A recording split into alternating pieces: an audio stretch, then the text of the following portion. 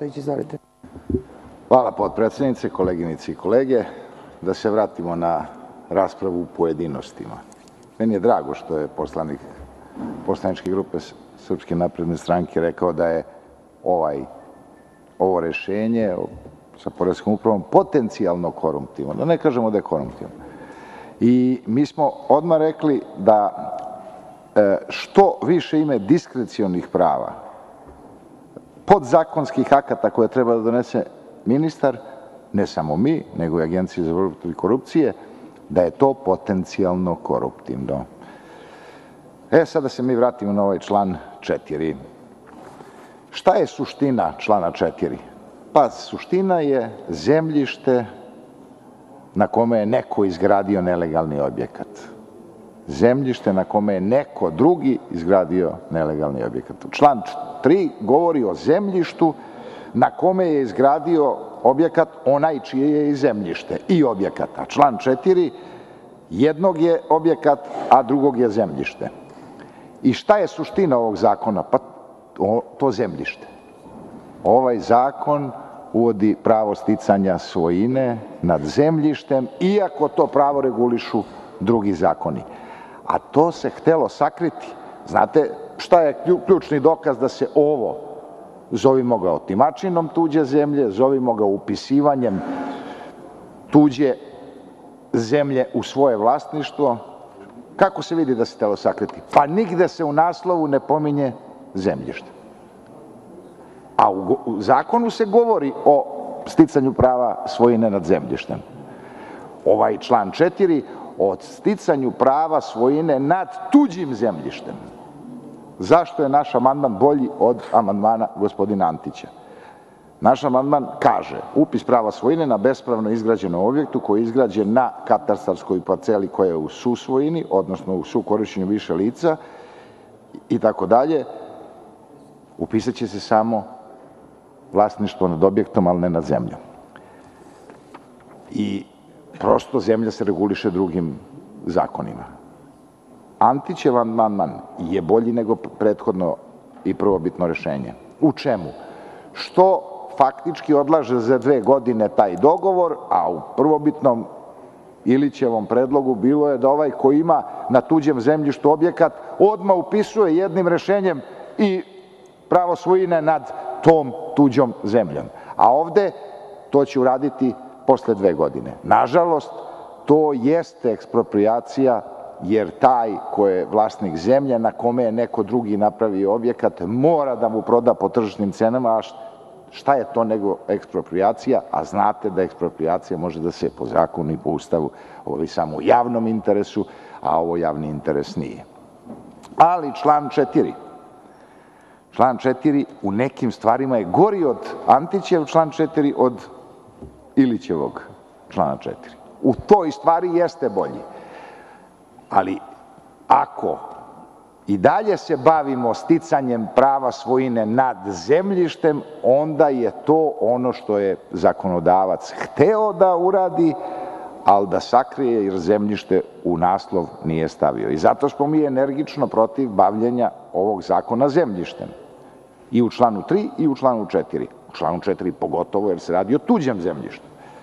U čemu je član 4 Antićev gori od Veljin? Pa, prvo ovako. E, u prethodnom je bilo da se dokazuje vlasništvo nad nelegalnim objektom overen, overene potvrde mesne zajednice o vremenu izgradnje. Bilo je to suludo rešenje, ono nema u, u ovom Antićevom amandmanu, niti svuda postoje mesne zajednice i kako bi mesna zajednica znala kad napravljen objekt i tako dalje. Umesto toga pojavila se potvrda nadležnog inspekcijskog organa o vremenu izgradnje bespravno izrađenog objekta. Znači, jedan ne ulazim koliko je to, da biram reči, nenormalno da sad nadležni inspekcijski organ koji u principu juri divlju gradnju, koji izdaje rešenje o rušenju, sad vi njega stavljate u poziciju da on da potvrdu kad je nelegalan objekat srušen. Kako to inspekcijski organ može da zna? To je prvo pitanje. Opet potencijalno koruptivno. oni koji treba da ruše, sad treba da učestvuju u upisu prave svojine. Inspekcijski organ je sad nadležan da izdaje potvrde umesto mesne zajednice. O vremenu izgradnje. Šta je vreme izgradnje? Jer kad se omalteriše kuća, kad se pokrije, kad se udari prva ploča, kad se stave rogovi, pa okači košulja, ili kad električar i keramičar završe svoje. Ja mislim da je od ovog rešenja bilo bolje da se a, vreme izgradnje dokazuje sa tri svedoka, od kojih jedan može, mora da bude električar, a ova dvojica mogu da budu zidar i tesar. Pa bolje bi se utvrdilo vreme izgradnje. Ovo je gore nego što je bilo u prethodnoj verziji. A ovo što ja predlažem, to bi bilo najpoštenije. Jer verujte, ni mesna zajednica, ni građevinska inspekcija, bolje od onih koji su radili na kući, neće utvrditi kad, kad je kuća. Šta zna, to vreme izgradnje, to je prilično dugačko vreme. Sve je to potencijalno koruptivno. Najviše je koruptivno to što ostaje u ovom članu pravo i mogućnost da se stekne svojina nad tuđom zemljom. A zakon se bavi objektima koji se upisuju u katastar nelegalno izrađenih. I dalje ljudi misle, i dalje gospodin Antić pominje legalizaciju, a radi se samo o upisu objekta uh, u katastru sa zabeležbom, može da se sruši i nije po standardima, zato što zabeležba bez građevinske upotrebe dozvole u, suštini znači to, a od toga zavisi tržna cena objekta i to je ono što mislimo da je prevara kad je u pitanju ovi ljudi koji će dati po 100 evra. Ali sve je to isturano u prvi plan da bi se sakrilo da se ovde radi o zemljištu i to tuđem zemljištu.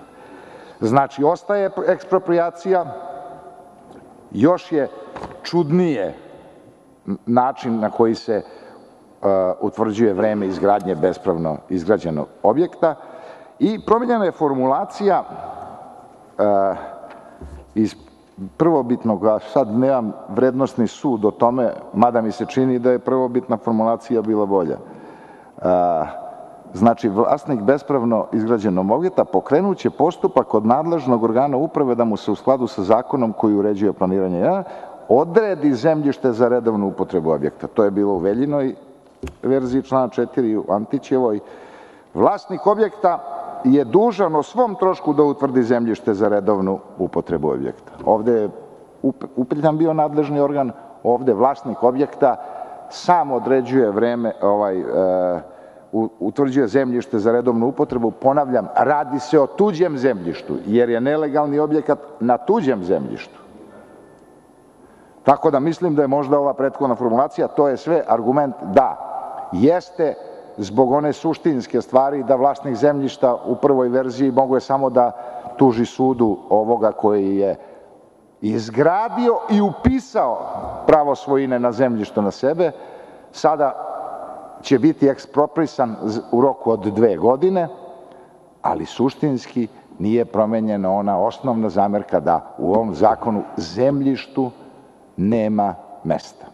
Hvala. Predstavnica poslaničke grupe Liberalno-demokratska partija. Izvolite. Hvala vam, gospođo potpredsednice, poštovani gospodine ministre, dame i gospodo narodni poslanici. Pa u obrazloženju e, zašto nije usvojen amandman nas, poslanika Liberalno-demokratske partije, stoji e, razlog da je usvojen amandman kolege Antića iz e, Socijalističke partije Srbije. Dakle, e, u čemu je poenta tog amandmana koji je poslužio kao razlog da se ne usvoji amandman Liberalno demokratske partije, odnosno da se naš amandman samo delimično usvoji? Pa radi se o tome da se amandmanom kolege Antića u stvari kozmetički uređuje postojeći član koji je predložen od strane predlagača zakona, i faktički se menja stav 1 onako kako smo mi iz Liberalno demokratske partije i predložili. Dakle, radi se o tome da se e, bespravna gradnja prihvata u tom smislu da se vlasništvo upisuje samo na objektu, ne i na zemljištu. Dakle, to je stav 1 i tako glasi i naš amandman. Mi smo predložili da se ostali stavovi ovog člana jednostavno brišu, jer oni nisu mogli da se poprave. Meni je žao što nije prisutan kolega Antić i žao mi je što očigledno ni ministra ne interesuje šta ću ja reći povodom ovog našeg amandmana, ali prosto javnosti radi moram da skrenem pažnju na nekoliko bitnih činjenica. Očigledno da ovde postoji jedna potreba da se zamagli suština. Očigledno postoji jedna potreba da se sakrije da je u stvari ostalo ono što se i htelo originalnim članom 4. A to je da se, pored prava vlasništva na objektu, upiše i pravo vlasništva na zemljištu, iako je ono tuđe, sve u korist onog koji je već bespravno nešto izgradio, dakle, pritom on bespravno dobija i građevinsko zemljište, preskače se konverzija, pretvaranje e, prava svojine, društvene svojine e, iz te društvene svojine u privatnu svojinu, što je predviđeno jednim drugim zakonom, zakonom o planiranju i izgradnji. Dakle, prosto vi na mala vrata uvodite bespravnost kao način funkcionisanja. Stav 2, recimo, služi upravo toj svrsi da se ne vidi šta radite. I kaže, pravo svojine na zemljištu biće upisano u korist vlasnika objekta kada vlasnik objekta dostavi dokaz da je nekim pravnim poslom stekao pravo svojine na zemljištu na kome je objekat izgrađen. Pa znate kako, ako on ima e, neki pravni posao u vezi tog zemljišta, tu se više ne radi o gradnji na tuđem zemljištu. Dakle, ovaj stav vam je bio potpuno nepotreban i jeste da po e, mišljenju podnosioca amandmana e, kozmetički popravlja član, ali u suštini ništa drugo i ne, ne čini. Kaže, do upisa prava svojine, to je u stavu 3 na zemljištu na kom je objekat izgrađen, vlasnik objekta ne stiče dakle nikakva prava osim prava prolaza i to vi njega ograničavate sve do sticanja prava svojine. Dakle, pretpostavlja se da će steći pravo svojine i već u stavu 4 i objašnjavate kako se stiče pravo svojine, a to je u roku od dve godine, ukoliko se ne postigne dogovor između vlasnika zemljišta i graditelja na tuđem zemljištu u smislu imovinsko-pravnih odnosa. To znači da vi eksproprišete zemljište u privatnom vlasništvu, u vlasništvu nekog e, na čijem, odnosno zemljištu, se gradi tuđi objekat. Vi, dakle, u privatnom interesu radite eksproprijaciju i niste, dakle, promenili član 4 kako to izvorno se objašnjava i od strane poslanika Antića, a i u stvari e, podržavaju e, kolege iz vladajuće koalicije. Dakle, ostaje činjenica da se može graditi na tuđem zemljištu, da se e, ulazi u domen, domen sudova, da više sudovi nisu ti koji utvrđuju određena prava, određene činjenice koje su vezane za gradnju na tuđem zemljištu. I onda, da biste još više zamaglili stvari i prosto pokazali koliko ste spremni e, da e, netačno, dakle netačno interpretirate nešto što mi iz opozicije tvrdimo da ne možete da radite, a to je, kaže u stavu 6, bliže uslove način i postupak za sticanje prava svojine na zemljištu utvrdiće ministar nekim podzakonskim aktima. To prosto nije tačno. Ovim stavom 4. vi faktički radite tu eksproprijaciju i tu više nema podzakonskim aktima bilo šta da se uredi. Dakle, kolega Antić je govorio nešto o tome da je dugo u sistemu. Pa vidi se da je dugo u sistemu, a Srbija očigledno ima sistemske probleme, a ovaj problem sa nelegalnom gradnjom, divljom gradnjom i milion i trista hiljada nelegalno izgrađenih objekata u stvari su samo posledica upravo tog problematičnog sistema u kojem kolega Antić očigledno se veoma dobro snalazi a i ovaj amandman upravo ukazuje na tu činjenicu da se ne odustaje. Dakle, ne odustaje se od tog pogrešnog sistema koji je proizveo ovaj problem, za koji kažete da ni jedna vlada ne zna kako da je reši, niti je znala da je reši, ja vama to verujem ali to ne znači da i te kako niste doprineli do nastanka problema i da i te kako niste još više pojačavali tempo takve vrste urbicida, jer to jeste urbicid e, ta nelegalna gradnja. A ovakvim predlogom zakona normalno da nećete popraviti situaciju. Popović, izvolite. Hvala vam, gospođo predsedavajuća. Ja sam se javila pre nego što ste prešli na sledeće amandmane, još dok smo bili kod amandmana e, poslanika Liberalne demokratske partije. E, niste me videli, posle sam jednostavno isključena iz sistema. Tako da jednostavno bih htela samo da skrenem pažnju e, svim kolegama poslanicima i javnosti radi. Dakle, mi imamo važeći zakon o osnovnim svojinsko-pravnim odnosima, koji vrlo dobro reguliše e, građanje na tuđem zemljištu. Imamo zakone o parničnom postupku. Dakle, imamo validni sudski postupak koji reguliše kako se to utvrđuje, kako neko stiče bilo kakvo pravo kada se radi o gradnji na tuđem zemljištu. Dakle, problem je sa ovim zakonom što se jednostavno derogiraju odredbe nekog drugog zakona. I to na pogrešan način, na loš način, sa ozbiljnim potencijalima u smislu rasta korupcije.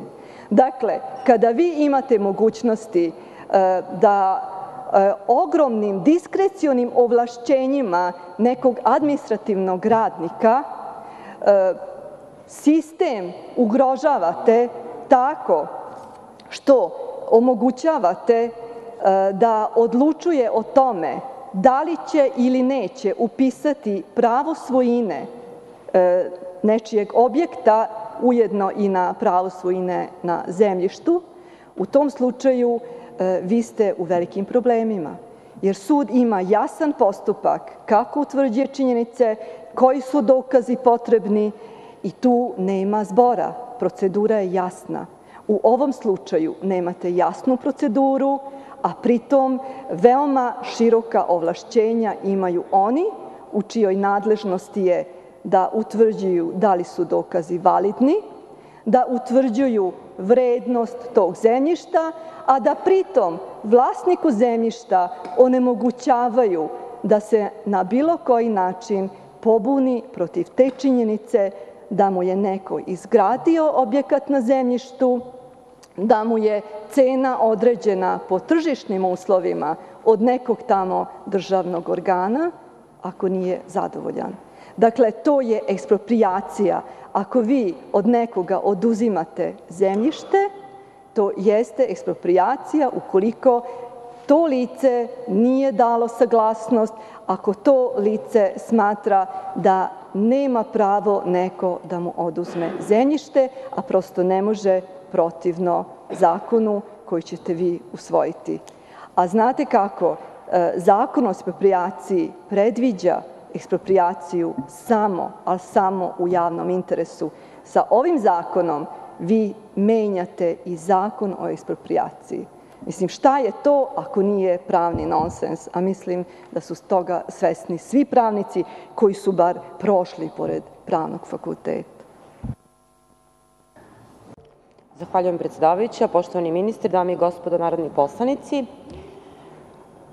amandmanom na član 8. koji je podnela Liberalno-demokratska partija trebalo je da se pojednostavi procedura i postigne efikasnost prilikom upisa prava svojine nad objektima koji su izgrađeni bez građevinske dozvole.